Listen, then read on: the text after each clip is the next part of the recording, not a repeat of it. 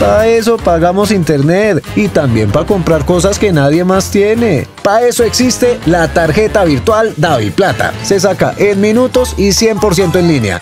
Plata, para todos así de fácil.